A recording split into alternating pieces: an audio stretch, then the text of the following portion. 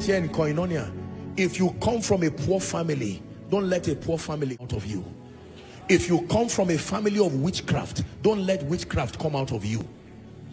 If you were raised with all due respect by irresponsible parents, don't waste the time arguing and hating them. And then you wake up and see children all around you and they call you daddy. You are almost tempted to say you are not my children. But time has gone. Many of you right now wasting time in anger. You are wasting time in bitterness. Anger and bitterness does not lead you to your desired heaven. The day you settle down and choose.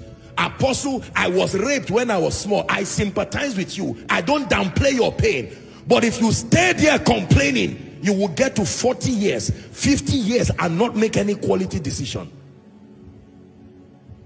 Apostle, I, I hate my parents because when other people were going to school, they were there around, dancing around masquerades. The result now is all of us are poor. What are you doing about it? They have run their own course. Can I tell you, in my world, I have taught you koinonia. In my world, an adult is not 18 years. I respect that statistics, but it's a deception to many people.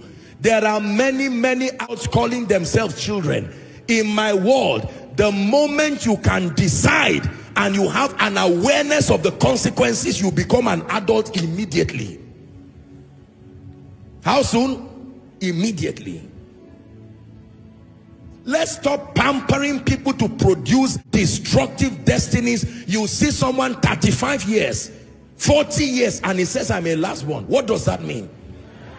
Of course, I'm not being sarcastic. Yes, thank God that you're so Destiny does not care, ladies and gentlemen. The one who decides, if it be thou, bid me come. He said, come. The one who chose to walk out on water was the one who experienced that miracle. Hallelujah. Our world is full of commentators who never make choices and decide. They comment about those making strategic impact and they cannot jump out of that water. Our business people, I'm ashamed of them. Something as easy as this, and they will never do it. Preachers who are talking like, ah, that scripture is not really, and yet they will never do anything impactful. The world does not reward commentators. It is those who get up and, and do something with their lives. Are we together?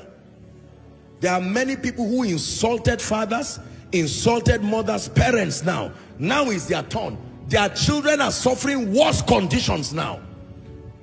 If your father and your mother, with all due respect, lived a mediocre life, the first way out is to find another father and mother who reflects what you want to become. I told you that the principles of followership is twofold. Number one, follow them. Number two, looking on to Jesus. This is how we become in the kingdom. Follow them is the first principle of followership. There are some them that represent where you are going. Do you know why God creates, puts leaders in front of you? Those leaders are an attempt to model your future. That where you want to go to. So leaders are a personification of outcomes. A personification of decisions. So that you can see the outcome in the life of others seeing somebody fail and then you go and fail again you are the one who is twice as unwise. Because they already failed for you. The beauty of leadership is an opportunity to see the scars of people.